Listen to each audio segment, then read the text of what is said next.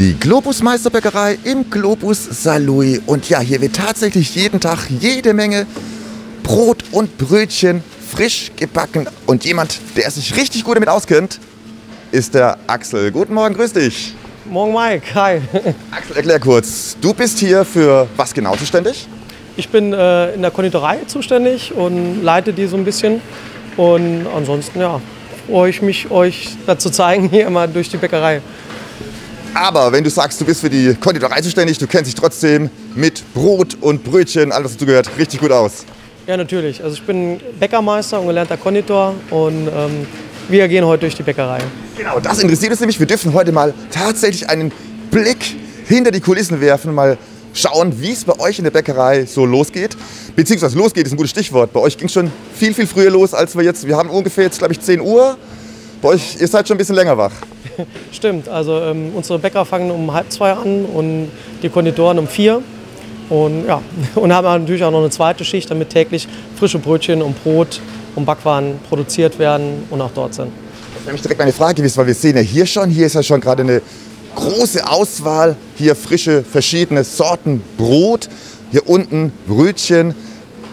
Wir gehen mal kurz ein bisschen, ich, ich schwenke einfach kurz rüber, also da ist ja wirklich eine Auswahl, die ist ja enorm. Ähm, das heißt, das ist nicht alles die Sachen, die jetzt heute nachgebacken wurden. Doch, die wurden alle heute Nacht gebacken und äh, produziert. Und die sehen wir jetzt hier. Ja, Aber ihr, so habe ich es verstanden jetzt gerade, da du sagst in mehreren Schichten. Das heißt, äh, wenn ihr seht, okay, ich sag mal hier, was nehmen wir hier? Einfach mal, nehmen wir hier das Weizenmischbrot. Mischbrot, richtig. Das kommt dann äh, nachts um 3 Uhr die erste Charge raus. Und äh, je nach Bedarf wird dann heute Mittag nochmal gebacken. Ja, kann aber auch sein, dass sogar dreimal am Tag Mischbrot gebacken wird oder Roggenbrot oder Weltmeisterbrot. Und ja, danach wird, also nach Bedarf wird auch gebacken. Ne? Wir haben ja gerade eben schon eine Kollegin gesehen, wie sie hier wieder aufgefüllt haben. Das heißt, die geben dann auch direkt Meldung, hey Jungs, wir brauchen Brot. Das heißt, dann wird der Ofen wieder angeschmissen. Genau, richtig. Das wird dementsprechend geguckt, damit wir auch nicht so viele Abschriften haben. Ach, der Umwelt zuliebe, wissen wir ja heute, dass das alles wichtig ist. So, jetzt bin ich aber neugierig und ich glaube, ganz viele Zuschauer auch. Ich habe einen guten Vorteil, denn ich rieche erstmal, wie lecker es hier ist ähm, und ich darf nach hinten schauen, aber wir dürfen jetzt rein. Ja, gut, dann gehen wir mal. Genau. Das Schöne ist ja bei euch grundsätzlich, auch wenn man hier vorbeikommt, hier im Globus Salui, man kann euch nicht komplett, aber einen großen Teil auf die Finger schauen. Wenn man hier direkt davor steht, da sieht man ja schon, aha, hier wird gearbeitet. Das stimmt. Also es ist auch vom Konzept her so, dass wir auch einen Blick, wenn wir hier rechts mal, mal schauen, äh, in die Konditorei rein gucken können. Da werden wir heute aber nicht reingehen, wegen Hygieneauflagen. Ne? Aber da wird alles, wie gesagt, frisch produziert. Die ganzen To-Go-Becher, die Sahnetorten. Hier haben wir Pariser, ja, To- To-Go-Becher, Sahnetorten, Pariser. Hier vorne haben wir noch Pariser Halbe, Bienenstich, Frankfurter, Streuselteilchen, äh, Windbeutel. Alles frisch produziert. Genau. Leider dürfen wir, wie du sagtest, da heute jetzt nicht reingehen. Nur mal so einen kleinen Blick durch die Scheibe erhaschen. Hier wird gerade, ah, das sieht lecker irgendwie nach Erdbeer oder Himbeere aus. Ja, das sind Erdbeerrollen, wo Sie jetzt da hinten sehen. Und äh, die Mitarbeiterin macht gerade die Himbeerrollen. Ja, Vielleicht können wir noch probieren, aber rein geht's hier heute nicht. Aber dafür sehen wir den Rest der Bäckerei. Ich denke mal, hier sind wir jetzt schon im Bereich, wo quasi die Produkte fertig sind. Also die Produkte, die hier sind, genau, die werden jetzt hier vorne ähm, gebacken. Und hier ist die äh, Verpackstation. Das heißt, die Damen tun hier fleißig verpacken, auch hier vorne. Wenn man auch sieht, äh, haben wir es hier in den Körben zwischengelagert, so damit es direkt anschließend äh, aufgefüllt werden kann im Regal, damit es auch keinen äh, Stau gibt, dass halt eben die Regale leer sind. Ne? Ich habe eine kleine Idee, wenn das okay ist. Ich sehe nämlich gerade, hier liegen die tollen, frischen Brötchen. Hier sind sie schon verpackt und gerade eben haben wir sie draußen gesehen. Dürfen wir denn mal so einen Weg des Brötchens verfolgen? Ja, gerne. Da gehen wir mal direkt vorne in die Mischanlage bzw. Teigecke und dann zeigen wir das. Super, da gehen wir hin. Ja, und hier startet nun also alles. Hier werden quasi die Brötchen geboren. Genau, hier werden sie produziert. Hier sind wir in der Abwiegestation. Ähm, am PC selber gibt man die Programme ein, gibt halt eben auch die Menge von den, ähm, ähm, von den zu produzierenden äh, Produkten ein. dann äh, erscheint halt eben für jeden Rohstoff, wie jetzt zum Beispiel Salz und Malz, erscheint dann jeweils ein einzelnes Feld, wo man dann halt eben abwiegt und das Tara dann halt eben so weit läuft, dass man dann vorne einen blauen Bereich hat, dann kommt ein grüner Bereich, in dem muss ein paar Sekunden halten und dann springt es erst auf nächste äh, über, sodass man eben nicht zu viel oder zu wenig abwiegen kann. Ne? Ist mal drüber, dann wird es rot angezeigt und es wird nicht weiter, also springt nicht weiter. Verstehe, okay. Das heißt, ihr kriegt dann immer genau vorgegeben, okay, zuerst, äh, ich sage jetzt mal, äh, Salz, so und so viel davon, dann wird das nächste je nach Produkt angezeigt und das wird dann dementsprechend dann aufgefüllt. Richtig, genauso wird es dann nach und nach gemacht, dass man halt eben auch dort Fehler minimiert. Ne? Und vor allem, dass eure, nehmen wir mal die Brötchen, auch immer gleich schmecken. Genau, richtig. Es soll ja alles gleich schmecken und immer frisch sein und aus dem Grund ist das System halt eben so eingeführt worden. So, aber jetzt haben wir erstmal hier eine Mischung. Äh, wie geht es dann weiter? Ja, dann geht es natürlich weiter hier rüber zum ähm, Mehlsilo. Das heißt, hier fällt dann ins Mehlsilo die, das Mehl rein. Dann wird es nach vorne gezogen. Dann kommen die Zutaten mit hinzu. Salz, Malz, ja, was man eben braucht. Auch Eis. Ja. Eis für Brötchen. Moment mal, Eis für Brötchen? Fresh-Eis, genau, richtig. Weil durch die Kneterwärmung an für sich ähm, ist natürlich auch wichtig, dass der Teig gekühlt ist. Ansonsten wird man die Bindungen zerreißen und äh, hätte kein schönes Brötchen. Aha, wieder was gelernt. Also, kurze Frage, ich meine, das kann ich, kann ich mal den Brot fragen. Wenn ich mal auf die Idee komme, soll ich zu Hause mal selber Brötchen zu machen, soll ich da auch Eis benutzen? Ich glaube, da gibt es andere Rezepte wie die, wo wir in der Bäckerei verwenden. Also ich denke, die Brötchen zu Hause, die werden definitiv anders produziert wie hier. Hätte das sein können, kleinen Tipp mitnehmen. So, auf jeden Fall, das sieht mir nach einer Knetmaschine aus. Richtig, dann kommt es hier in die Knetmaschine rein und wird dann der, der Teig reingefahren. Der Kneter fährt herunter, der Teig wird geknetet. Die Zeit, die sie braucht, erst im, im langsamen Gang, um alles zu mischen und dann später im Schnellgang für halt eben die gewünschte Kleberstruktur aufzubauen. Ja, im, im, Eiweiß, also im Weizenbrot ist es so, dass man Gliadin und Glutinin, das Klebereiweiß, damit das halt eben ein, ein richtiges Netz bildet. Und deshalb braucht man die perfekte Knetzeit. Perfekte Knetzeit. Äh, wie ist die denn, die perfekte Knetzeit für ein Brötchen? Die perfekte Knetzeit für ein Brötchen ist in der Regel äh, drei bis vier Minuten mischen und nochmal äh, fünf Minuten Schnellgang bis sieben je nachdem. ich sehe schon hier, Axel kennt seine Produkte, er kennt die Brötchen. Aber jetzt sind wir noch lange nicht beim Endprodukt. Genau, jetzt sind wir dann hier beim Rollprofi. Der fertige Teig wäre dann hier. Würde dann hier oben würde dann hier oben eingeführt werden. Ja. Dann rutscht der Teig halt eben runter in der Anlage. Würde hier über diese Trommel portioniert in äh, kleine Stückchen und auch rund gewirkt, läuft dann durch die Anlage hier hoch, fällt von hier in diese Körbe rein. Die laufen dann durch die Anlage.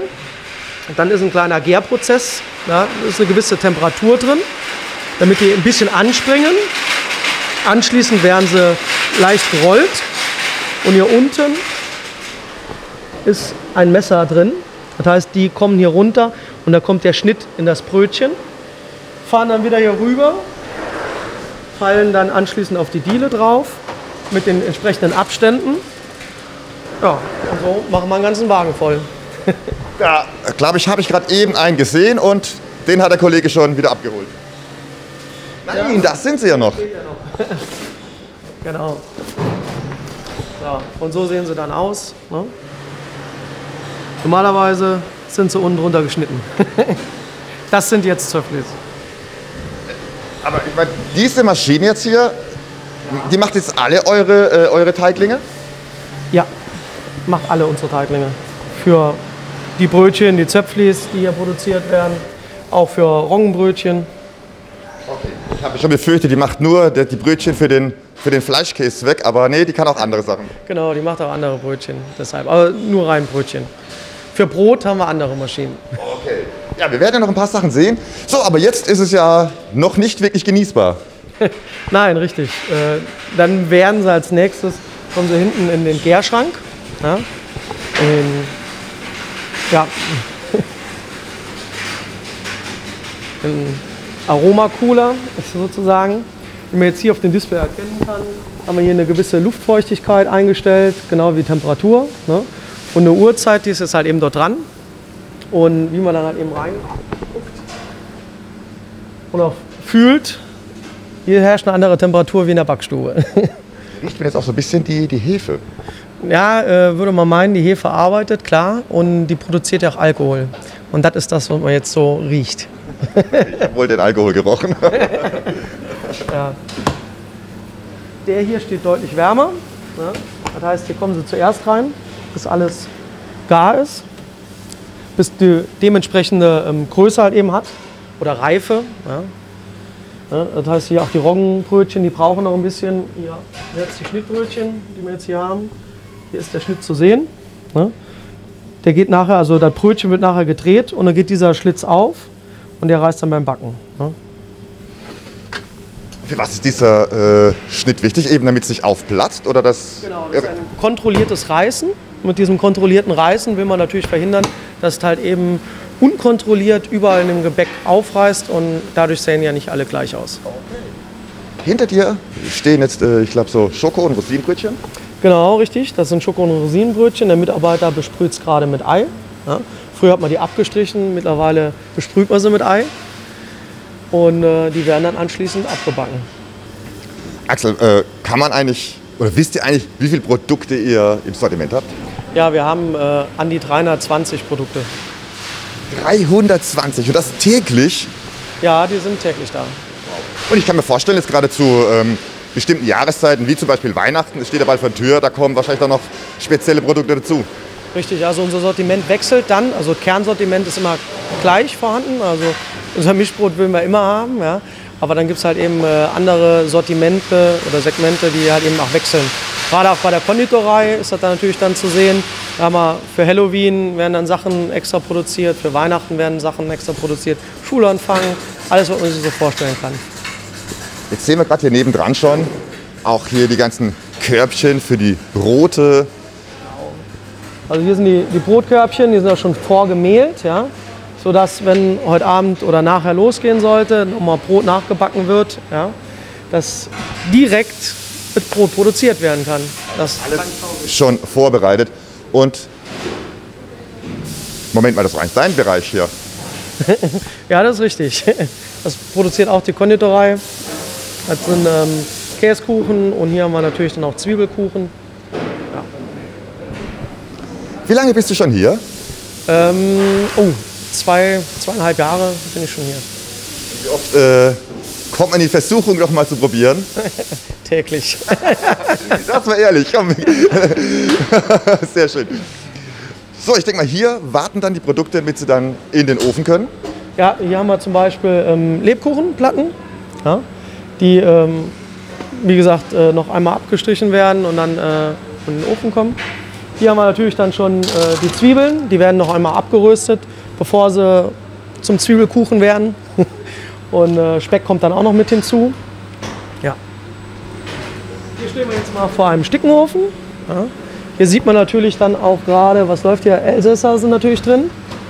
Und ähm, ein Stickenofen hat wie gesagt den Vorteil, dass der Wagen sich dreht. Also wird ein kompletter Wagen reingefahren.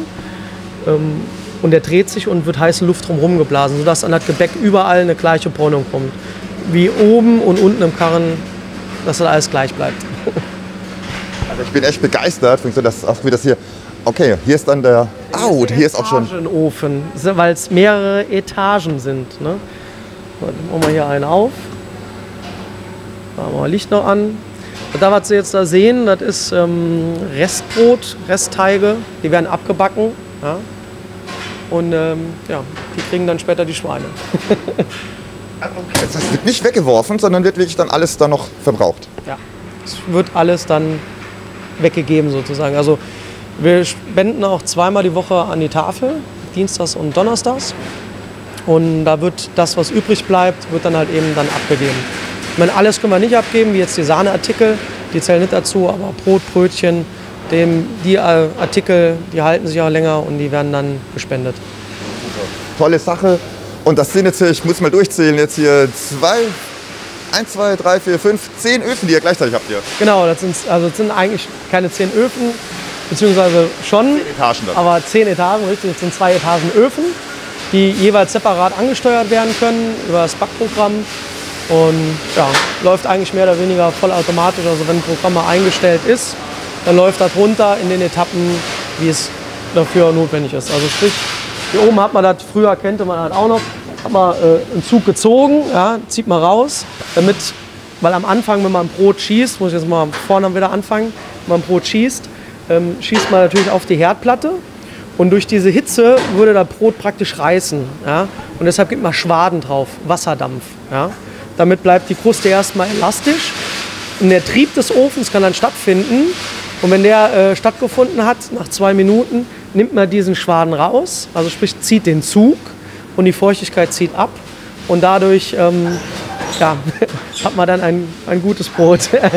sprich, die Kruste wird auch dann kross und das kontrollierte Reißen findet dann auch statt. So wie es sein soll. Genau, so wie es sein soll. Ich sehe noch mehr Öfen hier stehen. Zwei Etagenöfen, richtig. Und da stehen es auch schon wieder, die Schoko- und Rosinenbrötchen. Was man hier auch schön erkennen kann, ist, ähm, man hat wie gesagt jetzt hier Hefebrötchen, das Programm draufstehen. Ja. Steht ein. So, und dann hat man natürlich dann eine äh, Ist-Temperatur, sprich der ist noch zu warm. Und eine Solltemperatur mit 190 Grad. Ja, hier oben zeigt mir an Backstufen, eine von zweien. Ja, läuft 13 Minuten. Ja. Ja. Also man sieht, wegen, also Technik hat hier, ist hier voll eingezogen. Wird, was heißt, läuft nicht vollautomatisch, aber sehr viel automatisiert, um euch eben dann die Arbeit auch zu erleichtern. Richtig, erleichtert sehr die Arbeit, davon mal abgesehen. Ja. Jetzt, wie man das hier sieht, der ist aus. Ne? Der hat, guck mal hier rüber, der hat hier immer noch eine Temperatur. Oh ja. So, wenn jetzt, wie gesagt, äh, der Ofen ist ja jetzt bald für 13 Minuten blockiert. Und wenn jetzt die Damen sagen, hey, wir brauchen noch ein paar Brötchen und die Brötchen reif hinten sind, und dann sagt dann der Ofenmann, hey, ich mache einfach mal ähm, den Ofen an, zack, stelle da mein Programm für Schnittbrötchen ein. Dann hat er ein Schnittbrötchen und dann würde er jetzt hochheizen, wie man hört. Hier ist er noch rot, das heißt, er hat erst 140 Grad. Ja. Da wir aber nicht brauchen, sparen wir Energie. So, das sieht jetzt aber mal spannend aus. Ja, Mike, äh, hier haben wir den Mitarbeiter der Ahnung. der macht jetzt hier vorne die vorabgewogenen Teiglinge rein. Die Maschine drückt sie, dann geht sie rüber zum Mark. Der tut sie, einmal hier ist ein Tuch, da ist Wasser dran. Da wird dann dementsprechend hier ins Wasser reingehalten, damit das Saatgut anschließend hält. Hier in dem Falle Sesam. Ja, und dann wird es aufgesetzt. Und dann gibt's Zöpfli. Zöpflis, genau, richtig. Da sind jetzt unsere Sesamzöpflis. Ähm, dann kommen noch Mohnzöpfli, Käse, Schinken, Zöpfli, Kümmelzöpfli. Ja, als als wäre es abgesprochen. Ja. Ist es aber nicht. Mach es nicht das erste Mal, ne? Man hat- Man hat es schon öfters gemacht. Da frage ich dich mal, wie lange bist du schon hier dabei? Ja, seitdem die Meisterbäckerei hier geöffnet ist, seit 2016. Im Globus bin ich eigentlich schon seit 92. Also ein richtiges Globus-Urgestein schon hier. Eigentlich schon. Und bist nach wie vor gerne hier. Ja, Und da liegen sie dann schon fertig und werden genau wie die Brötchen dann drüben in den Öfen gebacken. Ja, aber vorher kommen sie immer noch in den Gärschrank, Mike. Richtig, richtig. Habe ich jetzt unterschlagen. Ähm, das Brot wird auch hier gemischt. Nicht ganz. Also was man jetzt hier sieht, ist unsere Sauerteiganlage für einen Zwei-Stufen-Sauer. Ja. Das heißt, die Anlage macht selbstständig, also wir geben das Anstellgut rein. Die Anlage tut sich selbstständig Wasser und Mehl ziehen. Das wird dann ähm, gemischt, erwärmt und wieder runtergekühlt, sodass man dann äh, die zwei Stufen jeweils hat. Genauso wie die Ruhezeiten, die dann gebraucht werden. Ja. Aber was man sieht, es wird wirklich alles hier frisch bei euch produziert. Es ist hier nichts dazu gekauft, sonst irgendwas, als was fertig ist. Nein, es wird wirklich alles täglich oder nächtlich, muss man bei euch eher sagen, hergestellt, damit eure Kunden in gewohnter Qualität und gewohnten Geschmack ja, bei euch kaufen können. Richtig, genauso handhaben wir es hier. Ein bisschen was habe ich dann doch gelernt. ja, auf jeden Fall, wir sind schon fast durch. Ja, hier haben wir noch, wo die Brote produziert werden. Das heißt, ähm, hier wird, wird der Kessel mit dem Brotteig wird dann hier reingefahren. Dann kommt die Sicherheitsabsperrung runter. Dann wird der hochgefahren, fällt hier oben in den Trichter rein. Der Trichter portioniert das, deshalb steht hier eine Waage, wo man dann das Ganze einstellen kann.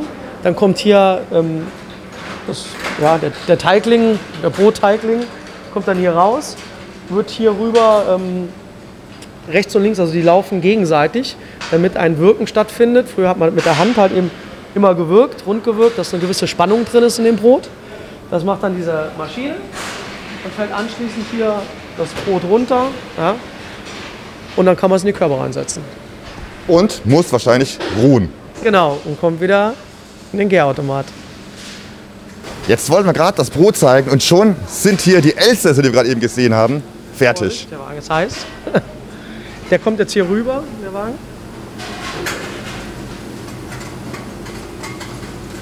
Ja, frische Elsässer. Frisch. So, hier dürfen Sie jetzt noch ein bisschen ausruhen. Genau, hier sieht man das Ganze noch, dass die ja auskühlen. Ja. So heiß werden sie natürlich nicht verpackt, weil dann würde äh, in der Tüte selber schwitzen und wäre nicht gut für Gebäck. Deshalb dürfen sie auskühlen und werden anschließend dann frisch verpackt. Super. Dann jetzt aber zum Brot. Hier sehen wir schon die wieder verschiedene Sorten, die hier schon warten, abgepackt zu werden. Genau, hier haben wir das Mischbrot wieder stehen. Ne? Hier haben wir ein glattes Mischbrot, ein bemehltes Mischbrot. Ne? Hier haben wir auch kleinere Einheiten, Pfünder, Kilos. Auch hier vorne, also wartet alles abgepackt zu werden. Ne?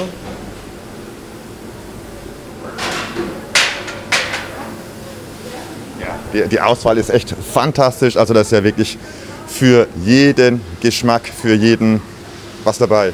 Richtig, ist alles mit dabei. Ja, wir gehen mal kurz rum, weil genau das wollen wir kurz sehen, weil hier wird das Ganze ja dann vorbereitet, bzw. verpackt, wie es dann die Kunden auch draußen im Selbstbedienungsregal dann vorfinden können. Richtig, genauso wie jetzt hier anschließend verpackt wird.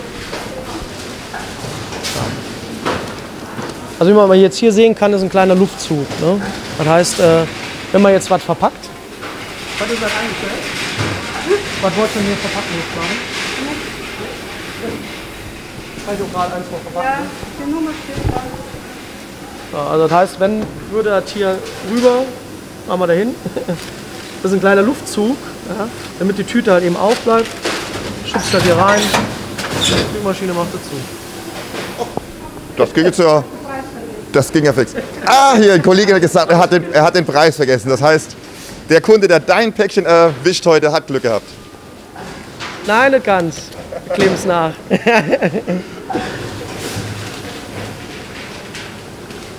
so, So, und schon ist verpackt das Malzkraftbrot für Aus der- 1,85 Euro. aus der Meisterbäckerei. Natürlich aus der Meisterbäckerei. Von Hand mit Herz, das ist ja auch euer Slogan, euer Motto. Das heißt, Handwerk wird hier wirklich richtig groß geschrieben. Ja, Handwerk wird hier noch groß geschrieben, das stimmt. Es sind zwar viele Maschinen im Einsatz, aber äh, wir sind trotzdem mit Herzblut noch dabei. Wenn wir nochmal auf die Produkte zurückgehen. Es kommen ja auch immer mal wieder neue Produkte dazu. Wie wird das entwickelt bei euch? Das wird vom Konzern her entwickelt. Das machen wir hier nicht. Ja? Und wir kriegen dann dementsprechend die Rezepturen hier hin, sprich über PC und mit neuen Rezepturen, mit der Anleitung, wie alles gebacken wird, wie es auszusehen hat, damit wir in jedem Globus, den wir vorfinden, die Produkte gleich sind und auch gleich schmecken. Super. Heißt, ich kann garant, also ihr garantiert sowohl hier in Globus St. Louis wie auch in anderen Globus Niederlassungen. 46 Globus, in den anderen 46 Globus Niederlassungen, genau. Die Brötchen schmecken immer lecker, weil immer gleich. Genau, richtig. Und auch der Preis ist gleich. Und auch, genau, auch ganz wichtig. Ja, bevor wir rausgehen, sehen wir hier noch, ich glaube, hier wird etwas hergestellt, was sehr, sehr beliebt ist. Ja, hier bereitet gerade der Mitarbeiter Tobias Karrenbauer ähm, den Rahmkuchen vor.